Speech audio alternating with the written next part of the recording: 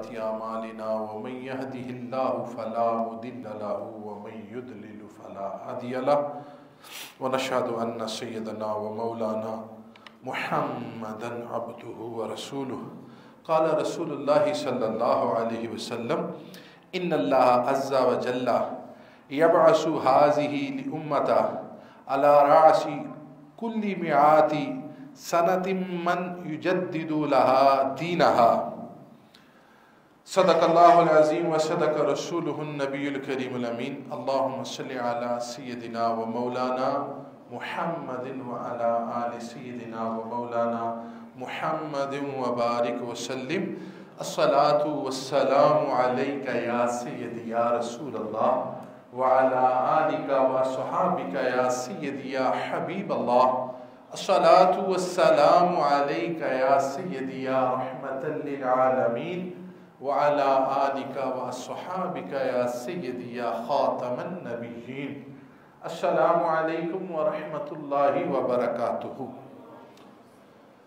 हमद और द्रुद सलाम के बाद इंतहाई वाजिबुल एहतराम प्यारे बुज़ुर्गों प्यारे दोस्तों प्यारे भाइयों और नगीना टीवी से समात फरमाने वाले तमाम मर्द ख़वातीन आपने रसुल करीम सल्लल्लाहु अलैहि वसल्लम का एक फरमान सनन इब्ने दाऊद जिल नंबर दो सफ़ा दो सौ इकतालीस से समात किया है। नबी करीम सल्लल्लाहु अलैहि वसल्लम का फरमान आली शान है इन उम्मत कुल्ली मियाती कि अल्लाह ताला मेरी इस उम्मत के हर सौ साल के सिरे पर एक मुजद्दिद को पैदा फरमाएगा जो दीन की तजदीद करते रहेंगे।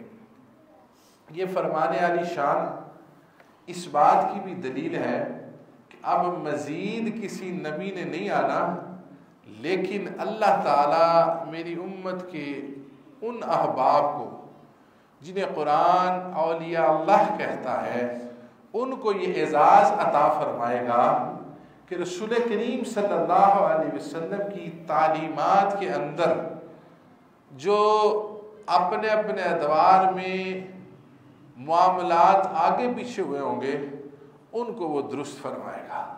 ये बात बिल्कुल समझ में अच्छी तरह रहनी चाहिए कि कोई भी मुजद दीन में नई ईजाद करने नहीं आता, बल्कि दीन में आने वाली खराफात मामलात की खराबी बातों को आगे पीछे किए जाने का जो अमल है, उसको, उसकी असली हालत में लेकर आता है।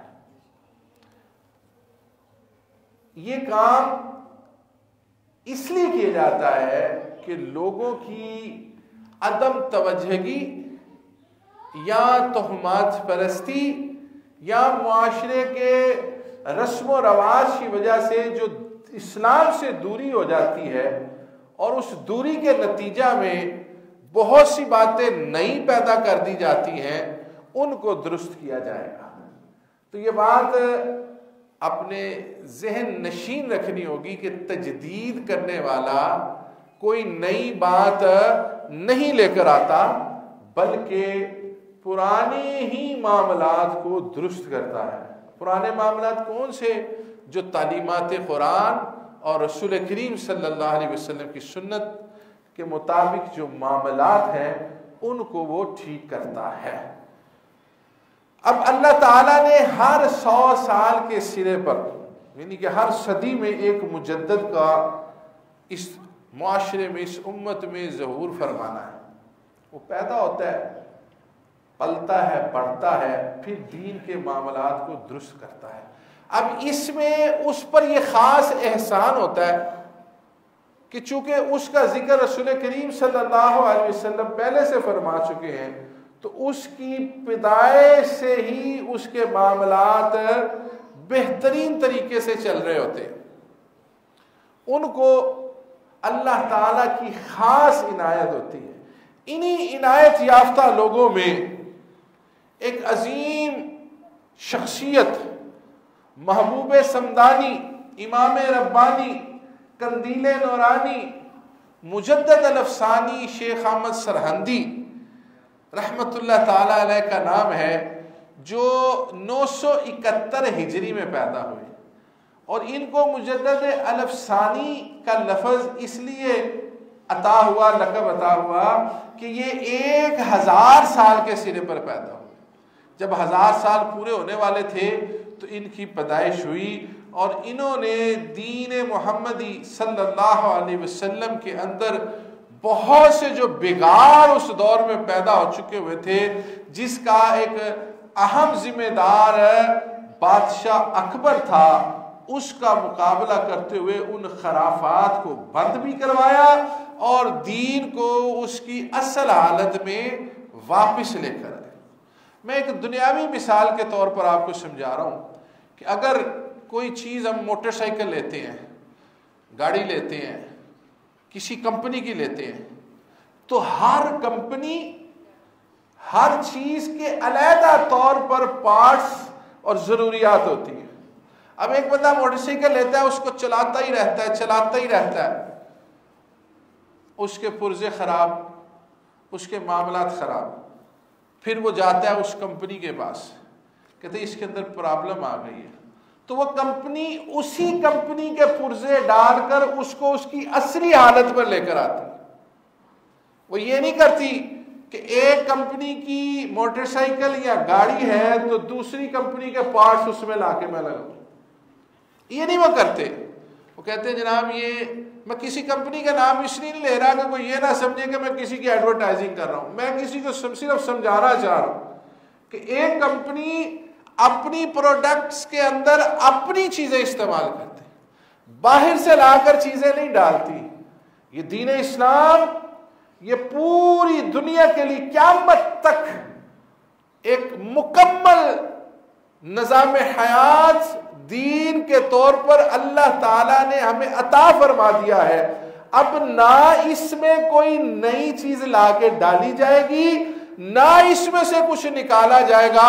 बल्कि इसकी मौजूदा चीज़ों को ही अगर कहीं गंद लगती है, अगर कहीं जंग लगता है तो अल्लाह अपने दोस्तों के ज़रिए उसकी बेहतरीन रिपेयरिंग करवाकर उसको उसकी असली हालत में वापस ले आता ये इसकी बड़ी सादा सी आसान फहम में मिसाल है कि अगर गंद पड़ जाए तो उसको फेंका नहीं जाता, बल्कि साफ़ कर लिया जाता है। जो कोई चीज़ खराब हो रही हो, उसको उसी कंपनी से लाकर रखा जाता है। तो दीन इस्लाम कुरान हदीस के ऊपर दलील करता है, अल्लाह के भेजे हुए वली जो तजदीद दीन का काम करते हैं, उनको असल हालत में वापस लेकर आते इजाफा कोई नहीं करते कोई नया काम कोई नहीं करते। अब मुजद पाक जिस वक्त पैदा हुए थे तो दीन के अंदर बहुत सी खराफात पैदा हुई हुई थी। आपने उनको निकाला, असल काम की तरफ़ वापस लाए, इसलिए उनको मुजद्दिद का अहदा भी अता किया गया। और ये सिलसिला चिश्तिया से भी इनका ताल्लुक है, कादरिया से भी है और नक्शबंदी सिलसिला से भी है। लेकिन इनका असल तसरुफ जो था बरे सग़ीर पाको हिंद समेत पूरी दुनिया में सिलसिला नक्शबंद के तौर पर मकबूल हुआ। अपने वालद ग्रामी हज़रत अब्दुल आहद रहमा से सिलसिला चिश्तिया से सताईसवें वास्ते में ये रसूल करीम वसल्लम से नस्बत रखते। सिलसिला कादिया में शाह कमाल केतली अला रहमा से 25 वास्तों से रसूल करीम सल्लल्लाहु अलैहि वसल्लम से नस्बत रखते हैं। और सिलसिला नक्शबंदिया में हज़रत बाकी बिल्ला रहमा, जो इनके शेख कामिल थे, उनके ज़रिए 21 सिलसिलों से रसूल करीम सल्लल्लाहु अलैहि वसल्लम से वाबस्तगी रखते हैं। और 31 वास्तों से हज़रत उम्र फ़ारूक रदी अल्लाह ताला से भी इनका नसब मिलता है और इसीलिए इनके नाम के साथ फारूकी भी लिखा जाता है। और जब कभी आप कोई ऐसी बात सुनते थे या देखते थे तो आपको जब जलाल आता था तो आप फरमाते थे, याद रखो, हमारी रगों में फारूकी नसब भी शामिल है। और ख़ास तौर पर जब कभी कहीं आपको ये पता चलता कि किसी ने जानबूझकर ये मामला किया है कि खुतबे में चारों खुलाफा के नामों को हजफ करने की कोशिश की है तो उस पर आप बड़ा सख्त एक्शन लेते थे। लेकिन वैसे आम ज़िंदगी में सिलसिला नक्शबंदिया के तरीके से, इंतहाई नरमी से आपने हर चीज़ का मुकाबला किया। नरमी तबीयत में थी और इस्तकामत आप इसका अमली नमूना थे। ये नहीं है कि नरमी है तो घर बैठ गए थे। ना ना ना। उसके बावजूद आपने पूरी इस्तकामत के साथ अपने मामलात को सारे आसन तरीकों से पूरा किया। आपके दौर में जो सबसे बड़ा फितना था, वो था जलालुद्दीन अकबर। ये हिंदुस्तान का बादशाह था और था मुसलमान, लेकिन इसने फिरौन की तरह खुदाई दावा कर दिया था। फिरौन भी पहले दावा नहीं करता था इस चीज़ का। उसने भी अपने दरवाजे के आगे लिखा हुआ था, बिस्मिल्लाहिर्रहमानिर्रहीम। तो अल्लाह ताला ने उस नाम की भी उसको जो है ना, छूट दे दी। जब मूसा ने कहा, ना, या इसको तबाह कर दे। फरमाया, मुझे इसके दरवाजे पर लिखा, बिस्मिल्लाह, नज़र आ रहा है। फिर उसको महल से निकाला और समंदर में गर्क कर दिया। तो ये अकबर बादशाह तो था, इसने भी खुदाई दावा किया हुआ था। ये सजदे करवाता था। और जो सजदा नहीं करता था, ये उसको कत्ल करवा देता था। यानी बादशाह वक्त हराम काम करवा रहा है और ना करने वाले को कत्ल करवा रहा है। अगर कोई इस रविश पर चलता है तो वो याद रखे कि वो यजीद से शुरू होकर सारे फिरौन और दूसरे जितने बड़े बड़े कुफर के नुमाइंदे थे, उन्हीं की राह पर चल रहा। यजीद ने भी कहा ना हक का साथ दो। हज़रत इमाम हुसैन ने फरमाया, जान जा सकती है, ना हक का साथ नहीं दिया जा सकता। अब मुजद्दत पाक को भी इस बात का बड़ा दुख लगा हुआ था कि ये अकबर बादशाह खुदाई दावा करके बैठा है और ये कत्ल करवाता है। तो आपके मुरीदीन, जिनमें खान खाना, खान आज़म सैयद हैदर मुर्तज़ा खान। ये खान खाना और ये तमाम जो लोग थे, जो अकबर के दरबार में तो होते थे, लेकिन मुरीद मुजद्दद पाक के थे। आपने फिर इनके ज़रिए अकबर बादशाह को समझाया। तो उसने इतनी नरमी की कि काम मैं करूँगा, लेकिन जो नहीं करेगा मुझे सजदा, उसको मैं अब कत्ल नहीं करवाऊँ सजदा फिर भी करवाता था सजदा फिर भी करवाता था। तो एक दिन फिर अल्लाह के हुक्म से ऐसा मामला हुआ कि खुद ही दावा कर बैठा कि आज दीन अकबरी और दीन मोहम्मदी सल्लल्लाहु अलैहि वसल्लम में मुकाबला होगा। खुद ही कहने लगा और फिर खुद ही दो दरबार बना दिए।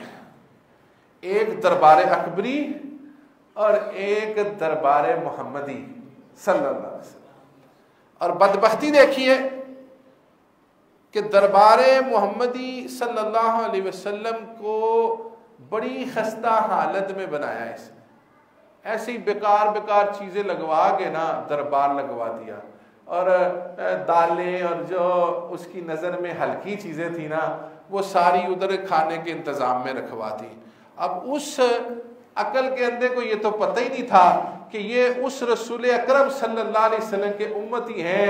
कि जिन्होंने खाने पीने के लिए तो ज़िंदगी गुजारी नहीं है, और जिनके असहाब असहाब सुफा के चबूतरे पर बैठने वाले, उनके पास एक एक खजूर होती थी। और कई कई दिन जब शिद्दत की भूख लगती थी, बर्दाश्त से बाहर हो जाती थी तो वो खजूर निकाल के उसको एक मरतबा चूस कर अपने पेट को तस्कीन देकर वापिस उसको संभाल लेते थे और काफिर उनसे आकर कहते थे कि जनाब, आप हमारे पास आ जाए। हम आपको खाने भी देंगे, लिबास भी देंगे, सहूलियात भी देंगे, पैसे भी देंगे। तो वो साहब फरमाते थे तेरा सारा कुछ हो सकता है, मगर इधर ईमान है, ये हमें कहीं नहीं मिल सकता। इधर मोहम्मद मुस्तफ़ा सल्लल्लाहु अलैहि वसल्लम की मोहब्बत उनका दीदार है।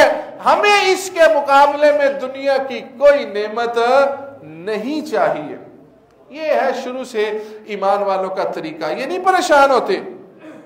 खाने पीने से, रहने से, कैदों से ये परेशान नहीं होते। ये बड़े हौसले वाले हैं। बस फिरौनों को ये समझ नहीं आती, वो समझते हैं कि हम जो सख्तियाँ कर रहे हैं, इनसे हम दीन को दबा लेंगे। तो अल्लाह का दीन ना कभी दबा है, ना दबेगा। तो अकबर बादशाह ने भी उसी तरह जलालत करते हुए बड़ा हल्का साजो सामान रख के दीने मोहम्मदी का दरबार बना दिया सल्लल्लाहु अलैहि वसल्लम। और अपना दरबार वो बेशुमार लवाजमात और खूबसूरत गत्ते आराम दे और बड़ी सहूलियात के साथ उसने तरतीब दे दिया अब आज के दौर में भी आप देख लें क्या हो रहा है। समझ आ जाएगी कि दरबार अकबरी कौन सा है, दरबार मोहम्मदी कौन सा है। अकल के लिए, समझने के लिए इस दिमाग की अकल की ज़रूरत है, इस निगाह के शाउर की ज़रूरत है। सारी चीज़ें समझ आ जाती है। नहीं समझना तो फिर कबूतर जो बिल्ली को देखकर आँखें बंद कर लेता है और समझता है कि बिल्ली मुझे नहीं देख रही और बिल्ली फिर उसको झपटती है और खा जाती है। इसी तरह अगर हम खराफात को ज्यातियों को आँखें बंद करके देखते रहेंगे तो एक वक्त आएगा, ये वक्त के फिरौन सबको निकल जाएँगे।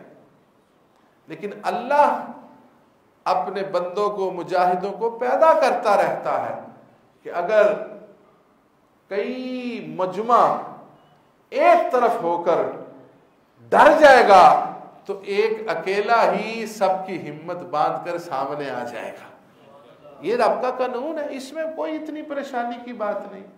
तो उसने दोनों दरबार सजा दिए। कहने लगा, अब जिसका दिल करता है, दरबार अकबरी में आ जाए। और जिसका दिल करता है, दरबार मोहम्मदी में चले जाए। तो फिर वही बात उस बेचारे को पता ही नहीं था कि उस शाख जाहरी नमूदो नुमाइश के पीछे नहीं जाते। जी चंद वक्त के ऐश वाले खानों के पीछे नहीं जाते। वो तो अपनी आखरत को संवारने के लिए उस रास्ते पर चलते हैं जो जन्नत में ले जाता है। चाहे उसमें मुश्किल आए, चाहे उसमें सख्तियाँ आए चाहे उसमें आजमाइशें आए, वो कहते हैं, कोई बात नहीं, यही वो रास्ते हैं, इन पर आज हम इस्तकामत के साथ बर्दाश्त करके चलेंगे कल पुल सरात पर अल्लाह के फरिश्ते हमारे कदमों तले पर बिछा के हमें आगे गुजार देंगे. हाँ जी, आज का थोड़ा वक्त इस्तकामत से गुजार लिया तो पुल से रात पर गुजरना इतना आसान होगा कि समझ ही नहीं आएगी तो जन्नत में चले जाएँगे। ऐसे पता ही नहीं लगेगा क्यामत के जो दर्दनाक, होलनाक मनाजिर हम सुनते हैं, हम उनसे भी बच जाएँगे। ये दर्दनाक होलनाक, वो पचास हज़ार साल का दिन, ये उनके लिए है जो अल्लाह और उसके हबीब की मोहब्बत से दूर ज़िंदगी गुजारते हैं और जिन्होंने अल्लाह और उसके हबीब सल्लल्लाहु अलैहि वसल्लम की मोहब्बत में ज़िंदगी गुजारी होगी, वो अल्लाह के अर्श के साय के नीचे होगी। उन्हें कोई परेशानी नहीं होगी। अभी आप बाहर से आए हैं ना तो गर्मी है, धूप है, पसीना आता है, अंदर आए हैं तो ठंडक अंदर आए तो ठंडक है ना? क्यों? ये अल्लाह का घर है एसी लगे हुए हैं और बाहर इसके ऊपर धूप पड़ रही है, लेकिन हमने दुनियावी इसबाब के ज़रिए इसके अंदर एसी लगा के ठंडक पैदा कर दी है, और हशर का दिन होगा, और इतना होलनाक मंजर होगा कि इंसान अपने पसीने में गिट्टों से लेके नाक तक डूबा होगा। उसी जगह पर, उसी माहौल में अल्लाह के वली, अल्लाह के अर्श के साय में आराम से बैठे होंगे जैसे आप मस्जिद में बैठे होंगे। जी। अल्लाह अकबर अल्लाह अकबर या गौसिया नारे पूरे लगाने चाहिए। जिंदाबाद। नारा रिसालत। ये नारा कभी नहीं छोड़ना। इस नारे के साथ ही हमारे सारे अमाल हैं। तो वो दरबार खूबसूरत सजा दिया लोग फिर भी जो ईमान वाले थे मुजद्दद पाक के पास आ गए। अब थोड़ा सा मैं पीछे आपको लेके चलता हूँ। यानी आगाज़ में। जिस वक्त गजवा बदर हुआ ना तो कुफार ने अपने लिए बड़ी अच्छी जगह अपने हिसाब से चुन ली। रेतली जगह मुसलमानों के लिए छोड़ दी। कुओं पे कब्जा कर लिया। सारे मामलात को कंट्रोल कर लिया। रसूलुल्लाह सल्लल्लाहु अलैहि वसल्लम ने अल्लाह से दुआ कर दी। अल्लाह ने नबी पाक सल्लल्लाहु अलैहि वसल्लम के सदके ईमान वालों पर ऐसा रहम फरमाया, तेज आंधी आई, जितनी मट्टी थी उड़कर दुश्मन की तरफ़ चली गई, ऊपर से बारिश आई, ये ज़मीन मट्टी से साफ़, बारिश की वजह से सख्त पथरीली हो गई, वो मट्टी पड़ के पानी पड़ने से दलदल बन गई। ये रसूल करीम सल्लल्लाहु अलैहि वसल्लम के मोजात है। अल्लाह ने ये इनायत की अच्छा अब मोजात तो खत्म हो गए। मोजात खत्म हो चुके हैं। रसूलुल्लाह सल्लल्लाहु अलैहि वसल्लम के साथ ही मोजात मंसूब थे, लेकिन उनका जहूर, जिस तरह आपकी नबूवत, आपकी रिसालत क्यामत तक कायम है, इसी तरह उन मोजात का भी जहूर क्यामत तक होता रहेगा। अब वो कैसे होगा? वो अल्लाह अपने वलियों के कमालात और करामात के ज़रिए दुनिया को दिखाएगा कि ये उस नबी सल्लल्लाहु अलैहि वसल्लम के उम्मती हैं जिनके मोजात आज करामात के साथ ज़िंदा हैं। अल्लाह ने आपकी हर शय को क्यामत तक ज़िंदा तबिंदा रखना है। कभी कहीं किसी वली अल्लाह से कोई करामत रूनुमा होती है तो अल्लाह के फजलो करम से उन मोजात का सिलसिला है जो आगे चल रहा है। जिस तरह अल्लाह का वली उस नबूवत के खात्मे के बाद जो खातम नबीन का लकब और एजाज रसूल करीम वसल्लम को मिला। लेकिन क्यामत तक औलिया इकराम इकराम के ज़रिए नबी पाक वसल्लम को की विरासत का सिलसिला अल्लाह चला रहा है, उसी तरह मोजात का सिलसिला करामतों के ज़रिए चला रहा है। हाँ जी। और इससे कोई इनकार ही नहीं हो सकता। कुरान पे, कुरान के अंदर इसकी दलीलें मौजूद हैं।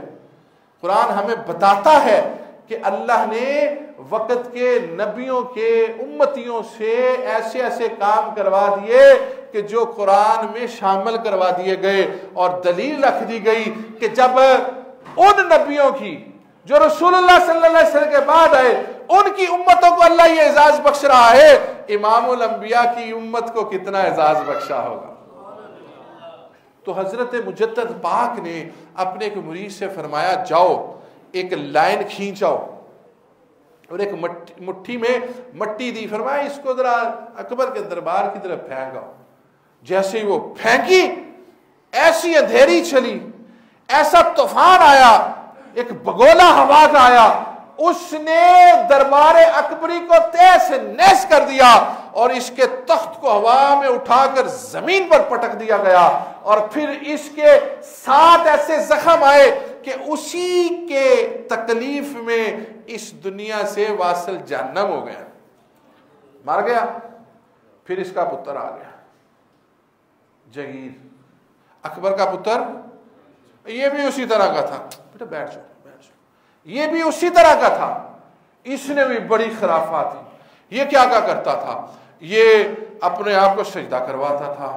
हिंदुओं की औरतों से शादी करता था। मस्जिदें गिरा दी इसने।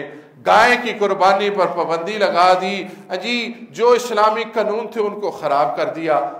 इसका एक मशीर था आसफ जा ये मशीर अच्छे मिल जाए तो ज़िंदगी सवर जाती है।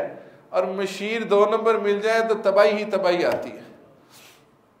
जिसको अल्लाह इकतदार दे, वो सबसे पहले अपने ऊपर, अपने मशीरों के ऊपर नज़र रखे कि मेरा मशीर दो नंबर तो नहीं है। आसफ शाह ने भी यही किया। उसने जहांगीर के कान भरने शुरू कर दिए। ये मुजद पाक जो है ना, ये तेरी तेरे साथ मुखालफत रखते हैं। ये ऐसे हैं, वैसे हैं। उसने कहा, क्या करूँ? उसने कहा ही अल्लाह कैद में डाल दो। अकल के अंदर को क्या पता कि कैद में डालने से अल्लाह के दीन पर कोई पाबंदी नहीं लग सकती। कैदों से पाबंदियाँ नहीं लगती। उन्होंने कहा, डाल दो कैद में। वो कैद में जाकर अंदर तबलीग शुरू कर दी उन्होंने। जेल में तबलीग शुरू कर दी। वक्त गुजरता गया। एक दिन जहांगीर अपने दरबार में बैठा हुआ, तख्त के ऊपर। और मुजद्दद पाक, जिनको कैद में उसने डाला हुआ था, वो सामने तशरीफ़ ले आए। ये कहाँ बुरे लगे? ये तो जेल में थे, ये कहाँ से आ गए? उन्होंने उठाया तख्त तो ठा करके इसको भी पटका। डर गया। इसने फौरी तौर पर माफीनामा लिख दिया। ये भी बड़ी बेहतरी होती है, इंसान को अकल आ जाए। अकल आ जाए तो इस पर शुक्र अदा करना चाहिए। जुल्म करके उस पर ढाई के साथ कायम रहना ये इंतहाई खतरनाक चीज़ है। इसने फौरी तौर पर खत लिखा। इसने कहा, जनाब मुजद साहब मेरे से गलतियाँ हो गई हैं, मुझे माफ़ फरमा दे। आपने फरमाया, गलतियाँ तूने की हैं, लेकिन इसकी रिहाई के लिए फिर अब कुछ बातें माननी पड़ेंगी। क्या क्या आपने शर्तें रखी? अल्लाह वालों ने, ये नहीं कहा, मुझे इतने पैसे दे दो, फलाने मुल्क में मुझे शिफ्ट करवा दो, और मुझे ये माल दे दो, ये दौलत दे दो। यहाँ से मुल्क को लूटो, पैसे खाओ, बाहर निकल जाओ। ये कौन सी बात है भाई? इनकी तबलीग सीखे। फरमाया, सुनो, अगर तुम चाहते हो कि हम बाहर आ जाए तो मेरी सात शर्तें हैं। नंबर एक, सजदा बंद करवाओ। सजदा। नंबर दो, जितनी मसाजिद गिराई है सारी दोबारा तमीर करवाओ और एक मस्जिद अपने दरबार के सामने दरवाजे पर बनवाओ। ताकि जब कोई आए, पहले अल्लाह की बारगाह में हाजिर हो, अल्लाह को सजदा करे, फिर तेरे पास आए। और मैं तीसरा, तूने गाय पर पाबंदी लगाई हुई है जिबा करने पर। अपने हाथ से गाय जिबा भी कर और सारी तरफ़ ऐलान करके गाय पर कोई पाबंदी नहीं है जिबा करने की। ये शुरू से ही ये पाबंदियाँ ये कहते आए हैं। गाय हमारा खुदा है। जी? क्या इनको बंदा कहे? फिर कहने, आपने फरमाया, शरई निज़ाम को राइज करो। काफरों से जिजिया लो। अहकाम शरीयत को नाफज करो। बातल रसूमात को ख़त्म करो। और फरमाया, इसके साथ साथ ये शर्त है कि हम जेल में रहे हैं। हमने तबलीग नहीं छोड़ी, ये जितने कैदी हैं, इनको अल्लाह का कुर्ब मिल चुका है, सबको रिहा करो। वो ये नहीं कहते थे कि मेरी जान छो मैं जावा नशा बार कहने लगे, नहीं, हम तो जहाँ जाएँगे, अपने साथ सबको अल्लाह के फजल करम से ठीक करते जाएँगे। फिर जागीर ने मानी उनकी बातें। आपने मुकाबला किया। और जिस वक्त से कैद में डाला था ना, आपकी सारी जायदाद पर भी कब्जा कर लिया, किताबों पर भी कब्जा कर लिया आज हुक्मरान सोचे कि ये क्या कर रहे हैं? ये ओलमा को मशाइ को, दीनदारों को कैद में डाल के क्या ये समझेंगे कि अल्लाह के दीन को हमने रोक दिया? ये नहीं हो सकता। चौदह सौ सदियाँ गुजर गई हैं बड़े बड़े जालम लोग आए लेकिन दीन हर लम्हा पहले से ज़्यादा बढ़ता जा रहा है। दीन बंदों का मोहताज नहीं है। बंदों का मोहताज होता तो माजल्ला रसूलुल्लाह सल्लल्लाहु अलैहि वसल्लम ने जब पर्दा फरमाया था तो क्या दीन अपने खत्म कर दिए नहीं, फरमाया कि ये तो क्या मत तक के लिए मैंने इसको पसंद कर लिया है। अब जाहरी पर्दे के बाद फिर खुलाफा का दौर आया, फिर ताबीन का दौर आया और क्यामत तक वली अल्लाह रसूल करीम सल्लल्लाहु अलैहि वसल्लम की तालीमात को दुनिया में आम करते रहेंगे। लेकिन ये चीज़ें तब समझ आएँगी जब हम इनको पढ़ेंगे। और जब हमने पढ़ना ही, मिस्टर चिप्स और फ्रांस और फलाना फलाना अंग्रेज़ पढ़ना है तो फिर समझ तो नहीं आएगी। अगर हमने खुद के ईमान को दुरुस्त करना है तो फिर औलिया इकराम को पढ़ना पड़ेगा।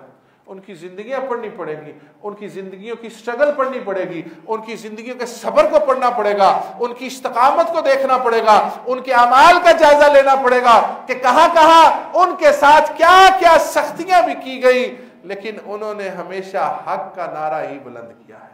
अल्लाह ताला हमारे मुल्क पाकिस्तान को भी सही अकीदा ईमान वाले हुक्मरान नसीफ और जो हुक्मरान हैं, इनको भी हिदायत दे।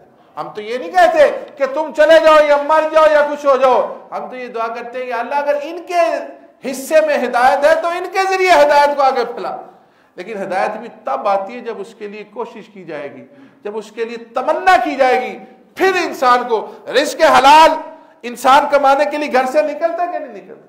ये तो नहीं है कि दुकान खरीद ली तारा लगा दिया, पैसे आने लग जाएँगे। उसको खोलना पड़ेगा, उसमें सामान रखना पड़ेगा, उसके लिए वक्त देना पड़ेगा, चीज़ें खरीद कर लानी पड़ेंगी। फिर अल्लाह ताला रिस्क अता फरमाएगा।